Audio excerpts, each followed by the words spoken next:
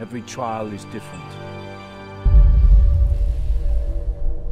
But in the end, one of you will emerge the new leader.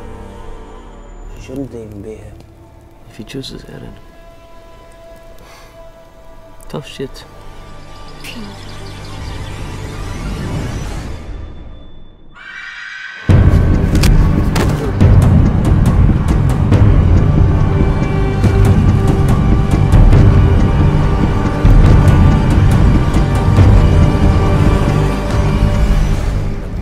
all begin.